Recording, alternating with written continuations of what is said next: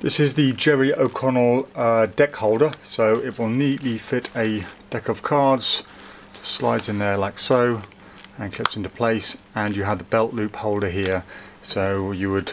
simply put that over your belt like so, clip it on, and then you have easy access to your deck of cards whenever you need it. Uh, the advantage of the clip there is that you don't have to take your belt on and off every time you put your deck holder on, so uh, that's the Jerry O'Connell deck holder with the belt loop. Uh, it's a very nice soft leather and as with all Jerry O'Connell products it is very very well made.